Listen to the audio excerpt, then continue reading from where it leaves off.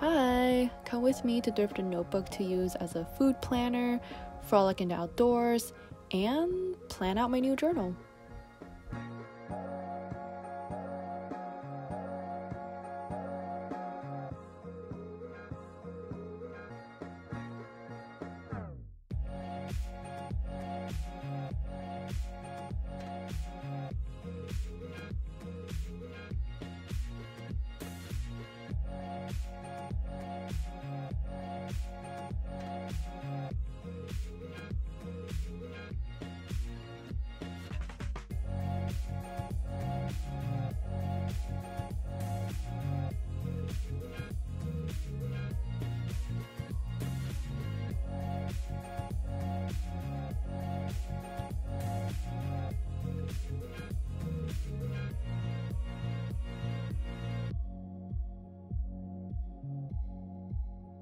This corner right here seemed really promising um, just because of all the stuff that were stacked against each other, but alas, no notebooks.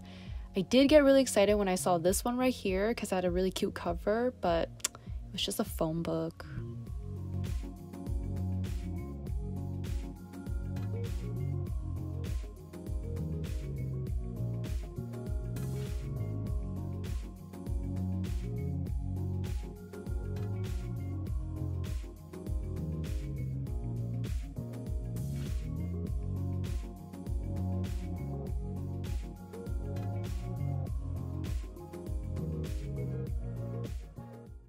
Ooh, this might be the one. So I'm really digging the color.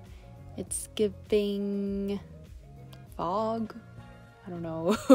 um, well, JK, it's a nice, cool color, very subtle, and I like that it also comes in a pack of three for 14 bucks, whereas the other options were $28 each. So, bang for my buck.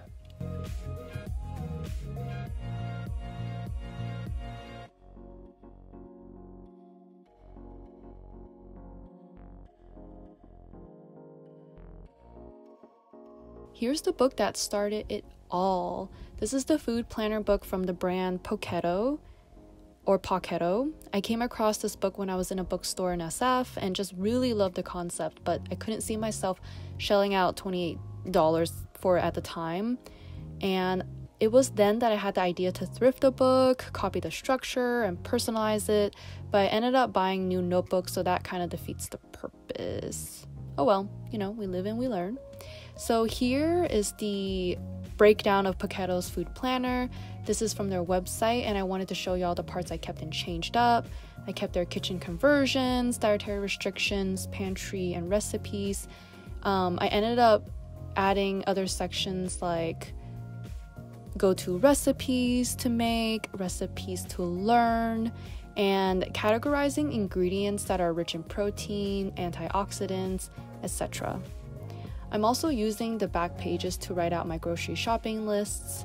Normally, I'd use the Notes app, but I actually really enjoy being able to flip through a book where I can look at my approved ingredients and recipes I want to make.